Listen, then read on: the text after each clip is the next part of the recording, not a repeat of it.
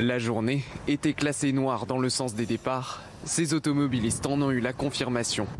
Près de 760 km de bouchons cumulés à midi